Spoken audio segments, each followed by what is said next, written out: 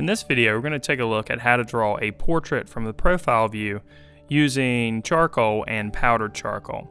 I'm going to begin by just lightly drawing out the contour lines of the portrait using a charcoal pencil, which has compressed charcoal inside of it. So the mark's going to be pretty dark here. I'm just going to concentrate on the areas of contrast that I see. I'm also going to draw pretty loosely here. I don't want to be too obsessed with the details. I want my lines to be very loose.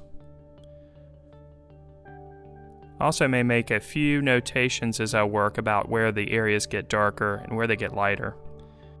Once I've got a loose contour line established on the surface, I'm going to go ahead and start applying the powdered charcoal using a pony hair brush.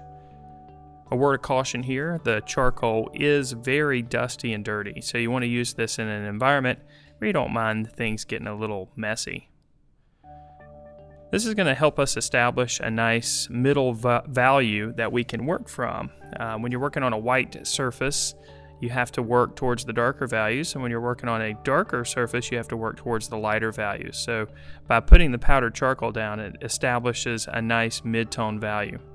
Once we've got that on the surface and we're happy with the application, we can go ahead and go back into the drawing and continue to establish some of the dark and light areas that we see.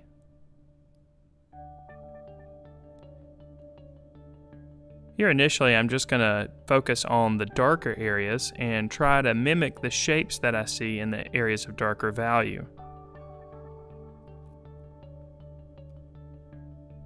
For this drawing, there is intense light coming from the lower right hand corner.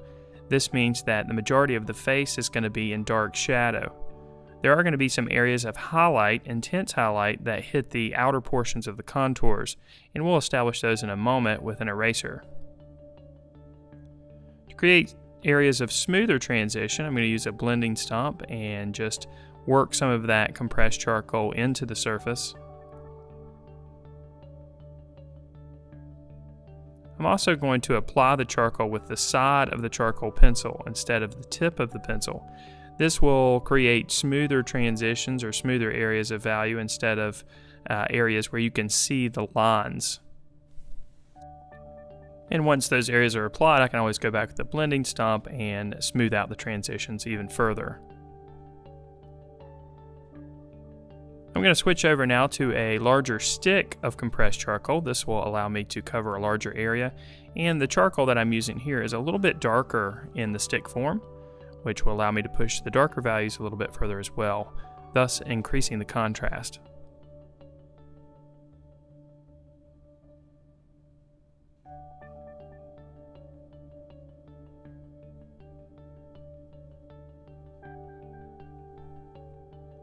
When you're applying any type of media, whether that be a drawing media or a painting medium, you want to make sure that you're thinking about the cross contour lines of the form of the object that you're drawing.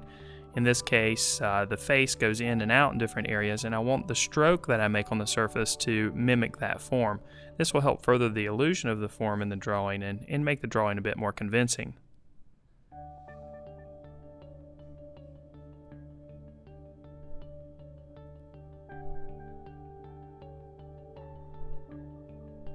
I'll continue that charcoal application up into the area of hair and uh, on the upper portion of the forehead.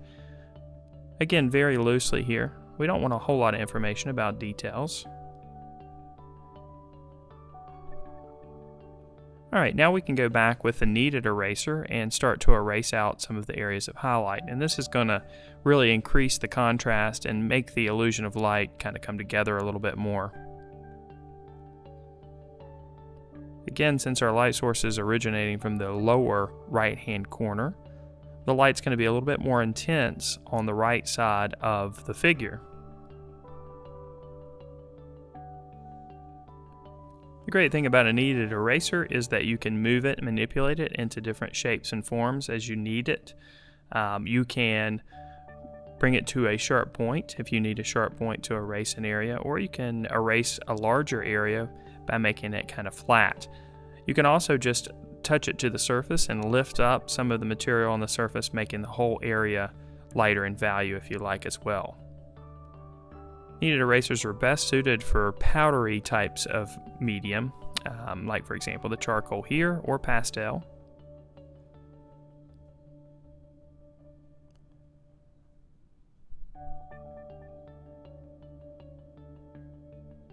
Typically, the upper lip is going to be darker in value than the bottom lip, but since our light source is originating from below, the top lip is lighter and the bottom lip is darker. There's also a bit of highlight that's hitting the bottom portion of the neck. Typically this area would be darker.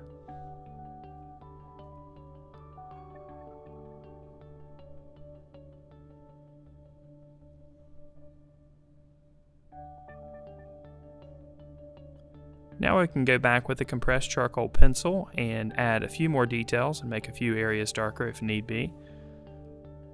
Typically, when you're doing a charcoal drawing, you'll want to work back and forth between dark values and light values anyway.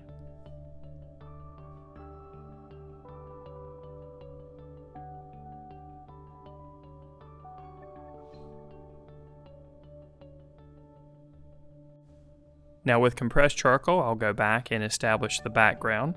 This will further enhance the contrast between the light and dark values.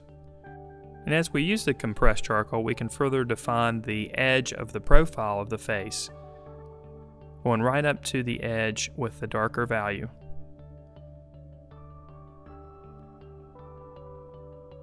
I'll also use my finger to work in areas of the compressed charcoal to make a smoother background, and I'll use the pony hair brush to move the charcoal around on the surface. Now I don't want a super sharp edge around the profile of the face, so I'll just use the brush to move the charcoal around right on the edge to blur up the edges just a little bit, which is closer to how we see things in reality anyway. Then I'll go back with the kneaded eraser and make some of the highlights just a bit more intense.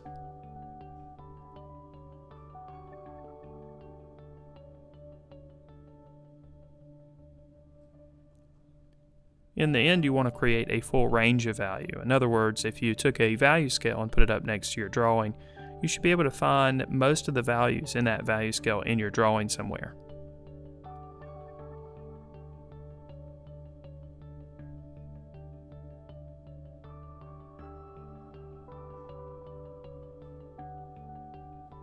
I'll also smooth out some of the transitions between the darker values and the midtones just to make uh, a little bit more of a rounded appearance to the face.